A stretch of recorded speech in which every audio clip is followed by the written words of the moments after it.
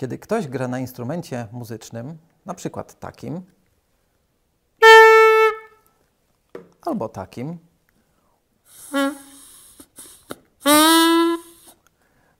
to nasz zmysł słuchu e, odbiera e, drgania powietrza, które wpadają do ucha, a następnie nasz mózg rejestruje takie drgania w postaci dźwięku.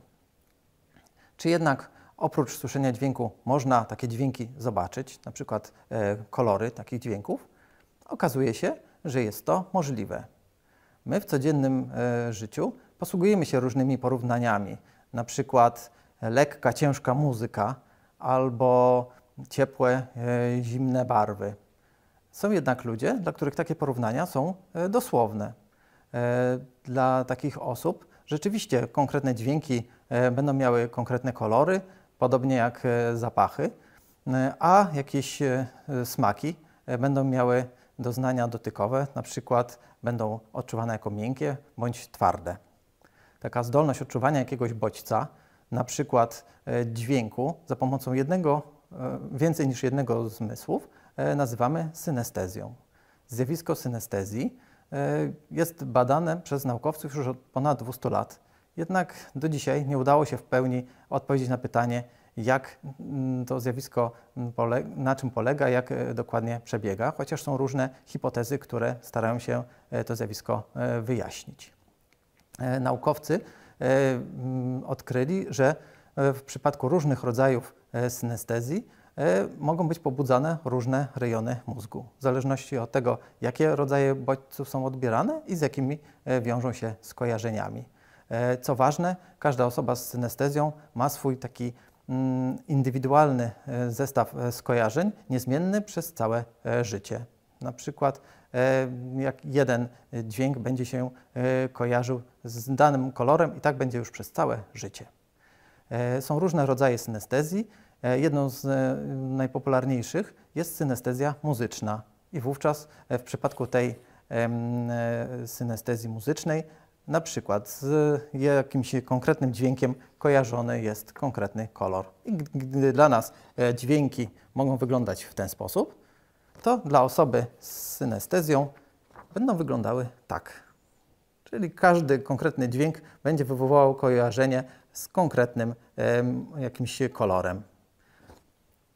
I wówczas e, taka osoba też będzie miała swoją taką jakby własną klawiaturę. Tak jak my jesteśmy przyzwyczajeni do klawiatury czarno-białej, no to m, taka osoba będzie postrzegała klawiaturę właśnie w kolorach e, dźwięków, e, z którymi właśnie ten kolor się kojarzy. E, takie skojarzenia mogą dotyczyć nie tylko poszczególnych dźwięków, ale też tonacji, utworów muzycznych czy instrumentów. I na przykład flet może kojarzyć się z kolorem niebieskim. Inny instrument, na przykład skrzypce z kolorem żółtym, a trąbka przykładowo z kolorem czerwonym to już są indywidualne skojarzenia. U każdej osoby może to wyglądać e, trochę inaczej. E, innym z dosyć popularnych rodzajów synestezji jest synestezja językowa i wówczas odpowiednie wrażenia e, może wywoływać barwa głosu, określone głoski, sylaby, a także cyfry i wyrazy. I wówczas, kiedy mamy napisany jakiś tekst, e, wypisane e, cyfry, wówczas my, zwykłe osoby mogą postrzegać to e, po prostu jako napisany tekst, ale u osoby z synestezją mogą być wywoływane dodatkowe właśnie bodźce kolorowe, co nie oznacza, że taka osoba nie będzie wiedziała, w jakim kolorze tekst został zapisany. Będzie widzieć, czy tekst był czarny czy niebieski, ale oprócz tego będzie ukazywała się taka poświata właśnie kolorowa nie tylko pojedyncze litery mogą wywołać takie bodźce, ale na przykład określone wyrazy, imiona, także nazwy dni tygodnia bądź miesięcy. I wówczas zamiast e, takich zwykłych dni tygodnia będą też wywoływane odpowiednie kolory. Innymi rodzajami synestezji jest kojarzenie na przykład zapachów z kolorami, czy właśnie smaków z, ze doznaniami dotykowymi, ale to już są rzadsze przypadki. Istnieje też hipoteza mówiąca o tym, że występuje synestezja w wieku niemowlęcym.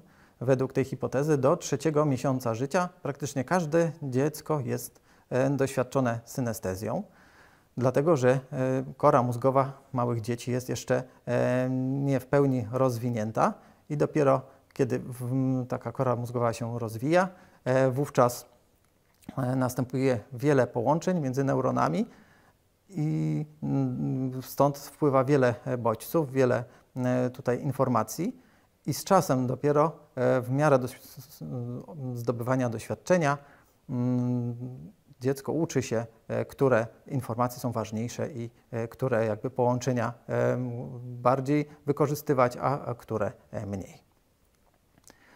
Nasuwa się też często pytanie, czy taka osoba z synestezją może dla niej będzie to jakiś dar, czy, czy może bardziej traktować to jako chorobę. Otóż większość osób z synestezją E, często nawet nie wie, e, że jest nią doświadczona i traktują swoje niezwykłe zdolności jako e, dar, który nawet przydaje się w życiu codziennym, zwłaszcza taka synestezja muzyczna, no bo umiejętność skojarzenia konkretnego dźwięku, na przykład z kolorem, pomaga w bezbłędnym rozpoznawaniu dźwięków, podobnie jak ma to miejsce w przypadku słuchu absolutnego. Z kolei niektóre doznania mogą być dosyć przykre i troszkę uciążliwe.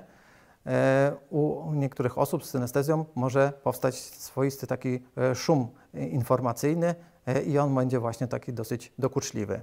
Poza tym, jeśli z konkretnym smakiem kojarzyłby nam się jakieś mm, wrażenie dotykowe, to jeśli mamy jakiś smak, który kojarzy nam się z czymś takim miękkim, jak kłębek wełny, no to będzie raczej miłe doznanie. Jeśli będzie nam się coś kojarzyło z czymś twardym, takie osoby będzie się kojarzyło z czymś twardym, dany smak z e, takim wrażeniem twardości, e, no to już może trochę mniej. A e, z kolei, kiedy jakiś smak będzie kojarzył się z czymś szorstkim, jak tarka, no to już to zaoznanie będzie nieprzyjemne i wówczas pewnie takich smaków osoba z synestezją będzie unikała. Synestezję posiadało wiele nawet znanych osób. E, wśród nich był węgierski kompozytor Franciszek Liszt, e, czy rosyjski malarz, jeden z twórców abstrakcjonizmu, e, Wasilij Kandiński. Obecnie spośród takich gwiazd muzyki młodego pokolenia synestezję ma Billie Eilish, właśnie gwiazda muzyki alternatywnej, która od kilku lat robi właśnie karierę. E, osoby e, z synestezją często nie zdają sobie sprawy, że są tak wyjątkowe. Myślą, że e, takie zdolności mają wszystkie osoby. Stąd trudno określić, ile osób na świecie posiada właśnie zdolności synestetyczne.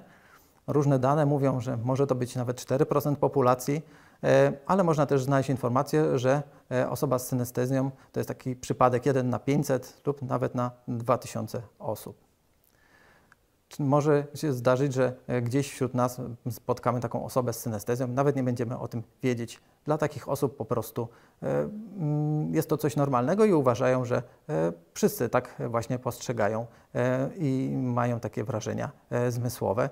Często więc o tym nie wspominają. Zjawisko jest to cały czas badane przez naukowców. Mimo różnych badań cały czas jeszcze skrywa przed nami różne tajemnice i na pewno jeszcze wiele ciekawych rzeczy e, naukowcy będą mogli się o nim dowiedzieć.